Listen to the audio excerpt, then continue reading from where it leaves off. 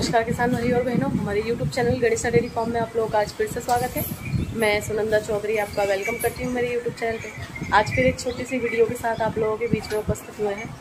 आज की जो वीडियो है, वो कुछ इस प्रकार से है कि जैसे हम आप लोगों के कमेंटों के ज़रिए ही जो है वीडियो बनाते हैं तो सबसे पहले तो मैं आप लोगों से गुजारिश करना चाहती हूँ कि मेरी वीडियो यदि आप लोगों को पसंद आई हो तो लाइक ज़रूर से करिए और मेरा चैनल यदि अभी तक आप लोगों ने सब्सक्राइब नहीं किया तो सब्सक्राइब भी करिए। सपोर्ट करिए हमारे चैनल को ताकि हमारा चैनल भी एक बड़ा चैनल बने और जो भी किसान भाई छोटी मोटी डेयरी फार्म से रिलेटेड इन्फॉर्मेशन चाहते हैं तो उन्हें इस चैनल के ज़रिए इन्फॉर्मेशन मिले और मदद मिले। तो आते हैं आज के टॉपिक पे। जैसा कि किसान भाई ने कमेंट किया था कि कृपया करके आप ये बताइए कि आ, जो डेयरी फार्म में है किस प्रकार के पशु रखने चाहिए? और हमने भी सोचा कि थोड़ी बहुत इसके बारे में भी जो है किसानों को नॉलेज देनी चाहिए कि हमें फार्म पे कैसे पशु रखने चाहिए और अच्छी ब्रीड हमें कब खरीदनी चाहिए और कब हमें रखनी चाहिए फार्म पर।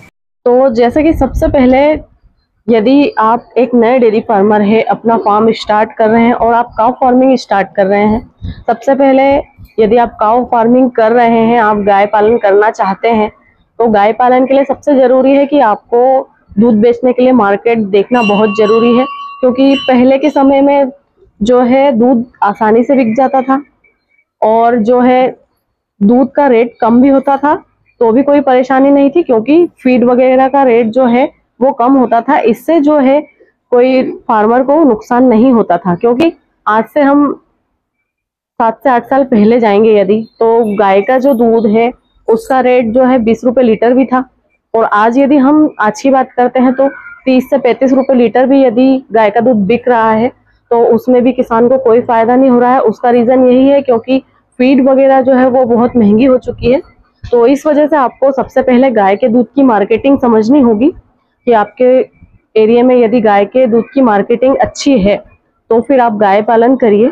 और हो सके तो डोर टू डोर अच्छी गाय के दूध की अच्छी क्वालिटी रखकर आप डोर टू डोर सेलिंग करेंगे तो आपको ज़्यादा मुनाफा होगा। या फिर गाय के दूध से प्रोडक्ट बनाकर यदि आप बेच सकें आपके एरिया में तो आपको अच्छा मुनाफा मुनाफा होगा। तो आपको सबसे पहले ये समझना होगा, उसके बाद आप नए फार्मर हैं तो उसके बाद नेक्स्ट स्टेप आपकी होगी कि आपको पशु कैसे लाने हैं आपके फार्म के लिए। तो फ़र्स्ट टाइम में आपको जो पशु रखने हैं, वो बिल्कुल क्रॉस ब्रीड में लाने हैं। बिल्कुल फीवर में आपको फ़र्स्ट बार में नहीं जाना है। उसका रीज़न ये होता है कि फीवर ब्रीड जो होती है, उनमें बहुत कठिनाइयाँ आती हैं, उनमें बीमारियाँ बहुत आती हैं। उसके बाद आसानी से सूट नहीं होती है, उसे सूट करने के लिए उसको हमें पहले समझना पड़ता है। तो एक पुराना फार्मर होता है जो वो, जब वो उसको डेयरी फार्म करते हुए समय हो जाता है, उसके बाद यदि वो हाइब्रिड लाता है तो वो उसका रख रखाव करने के लिए समझदार हो जाता है। क्योंकि तो उसे पता है कि एक पशु को कैसे रखना है, क्या खिलाना है, कैसी बीमारियाँ आती है। पर एक जो नया फार्मर होता है, वो बिल्कुल नया ही होता है। वो पहली बार, फ़र्स्ट टाइम जब पशु रखेगा और फ़र्स्ट टाइम में ही हाईब्रिड क्वालिटी की यदि पशु ले आएगा तो वो बीमारियों से ही पशु की इतना परेशान हो जाएगा कि उसको डेयरी फार्म बंद करना पड़ जाएगा। क्योंकि हाइब्रिड काव जो होती है, उसमें एक तो बीमारियाँ आती है, उसके बाद उनका जो खाना पीना है, एक बैलेंस डाइट देना, वो बहुत ज़रूरी होता है। यदि आप हाइब्रिड काव को एक बैलेंस डाइट नहीं देंगे तो यदि आप 30 से 35 लीटर की गाय लाते हैं और उसे बैलेंस डाइट नहीं मिलेगी तो वो आपको 30 से 35 लीटर दूध नहीं दे पाएगी। वो पर डे का आपको 20 लीटर दूध भी नहीं दे पाएगी। उसका रीजन यही है कि उसको आप एक बैलेंस डाइट नहीं दे पा रहे। तो ये सब समझ आपको जो एक्सपीरियंस की आवश्यकता है और एक्सपीरियंस आपको पहले क्रॉस ब्रीड से मिलेगा। क्रॉस ब्रीड लेकर आइए।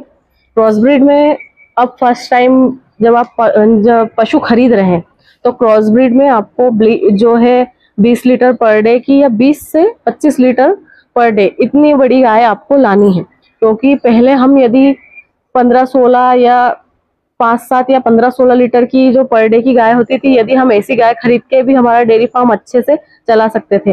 पर आज महँगाई के चक्कर में हमको जो है प्रोडक्शन ज़्यादा करना, निकालना होगा हमारे फार्म से, जब हमें अच्छा मुनाफा होगा। तो इस वजह से कम से कम आपको जो है 20 लीटर पर डे की गाय जो है अपने फार्म पर लानी ही पड़ेगी। ताकि आप उसकी अच्छी खिलाई करके 20 से 25 के बीच में आराम से दूध निकाल सकते हैं। उसके बाद क्रॉस ब्रीड गाय में ये होता है कि बीमारियाँ कम आती है क्रॉस ब्रीड गाय में और बीमारियाँ कम आती है तो आपका जो है खर्चा कम लगेगा। उसके बाद आपको समझने का मौका मिलेगा। क्रॉसब्रिड गाय होती है जो बीमार कम होती है। उसके बाद क्रॉसब्रिड जो आपको खरीदनी है, आपके आसपास के लोकल एरिया से खरीदनी है। लोकल एरिया से इसलिए खरीदनी है ताकि पशु खाने पीने में दिक्कत ना करे स्ट्रेस में ना रहे, क्योंकि जब हम बाहर से पशु खरीद कर लाते हैं तो बाहर का पशु आने के बाद स्ट्रेस में आ जाता है, खाने पीने में बहुत परेशान करता है, महीने महीने लगा देता है खाने में लगने में, और कभी कभी पशु की मौत भी हो जाती है इस चक्कर में। तो इस वजह से यदि आप फ़र्स्ट टाइम में स्टार्ट कर रहे हैं तो आप आसपास की लोकल ब्रीड पसंद करिए। ब्रीड मतलब आसपास ऐसा नहीं है कि आसपास आपको अच्छी गाय नहीं मिलेगी, यदि आप घूम घूम कर ढूंढेंगे तो आपको आसपास भी एक अच्छी जो है पशु मिल सकता है। तो आप आसपास के लोकल एरिया में जो है पशु परचेस करिए और वहाँ का पशु लाकर उसको रखिए। उसके साथ आप जब अपना टाइम स्पेंड करेंगे, उसको समझेंगे, उसकी खिलाई पिलाई करेंगे, उसका दूध निकालेंगे तो आपको एक गाय रखने का पूरा तजुर्बा हो जाएगा नॉलेज हो जाएगा। उसके बाद जब आप उसमें एक परफेक्ट हो जाए, आप उसमें आपको ऐसा लगे कि हाँ अब मैं अच्छी ब्रीड रख सकता हूँ या रख सकती हूँ, तब आप जो है हाइब्रिड पर जाइए। उसके बाद आप हाइब्रिड खरीदिए। हाइब्रिड भी जब आप खरीदने जाए तो हाइब्रिड जो है आपको ज़्यादा नहीं खरीदनी, केवल एक से दो गाय खरीदनी है और वो भी आपको ज़्यादा महँगी नहीं खरीदनी है। क्योंकि यदि हम एक गाय, महँगी गाय खरीदते हैं तो उसका पैसा हमें निकालने में समय लग जाता है। तो इस वजह से जितना हो सके हम कम रेंज का पशु खरीदते हैं तो उसका पैसा फेरने में ज़्यादा समय नहीं लगता है। तो इस वजह से आपको जो है कम रेंज की गाय खरीदनी है। बस ब्रीड में अच्छी होना चाहिए, यदि आप ब्रीड में जा रहे हैं तो ताकि वो अच्छा दूध दे। उसको आप एक अच्छी बैलेंस डाइट दीजिए। मिनरल मिक्सचर कैल्शियम ये चीज़ें आपको देना ही देना है। जैसे कि एक किसान भाई का कमेंट था कि रेगुलर कैल्शियम देने से नुकसान होता है। तो रेगुलर हम भी ऐसा नहीं कहते कि बिल्कुल आप रेगुलर ही कैल्शियम दीजिए। क्योंकि वो बजट से भी बाहर हो जाता है। रेगुलर कैल्शियम नहीं देना है। आप मिनिमम महीने में कम से कम पंद्रह से बीस दिन तो आप कैल्शियम खिलाइए ही खिलाइए। क्योंकि गाय एक ऐसा पशु है जो हमें ज़्यादा मात्रा में दूध देता है और जब ये हमें ज़्यादा मात्रा में दूध देती है तो इनके शरीर से दूध के ज़रिए कैल्शियम निकल जाता है। और यदि हम इनको अलग से कैल्शियम नहीं खिलाएँगे तो उस गाय को कैल्शियम डाउन हो जाएगा। और वो कैल्शियम डाउन होने की वजह से उसको बीमारियाँ घेरेंगी धीरे धीरे आपकी गाय जो है कमज़ोर होती जाएगी और इस कमज़ोरी के कारण जो है कभी कभी पशु की मौत भी हो जाती है। तो इस वजह से पशु को कैल्शियम देना बहुत आवश्यक हो जाता है।